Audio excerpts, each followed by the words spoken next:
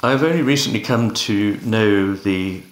work of the contemporary American poet Billy Collins, which I find at times very touching and at times very witty. This is a poem called The Trouble with Poetry. The trouble with poetry, I realized as I walked along a beach one night,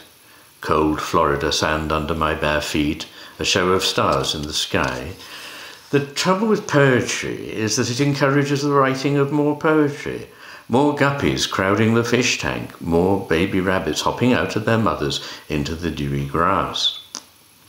And how will it ever end unless the day finally arrives when we've compared everything in the world to everything else in the world, and there's nothing left to do but quietly close our notebooks and sit with our hands folded on our desks?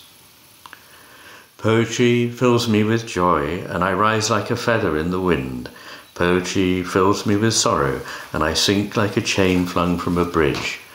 But mostly, poetry fills me with the urge to write poetry, to sit in the dark and wait for a little flame to appear at the tip of my pencil. And along with that, the longing to steal, to break into the poems of others with a flashlight and a ski mask and what an unmerry band of thieves we are, cut purses, common shoplifters, I thought to myself, as cold waves swelled around my feet and the lighthouse moved its megaphone over the sea,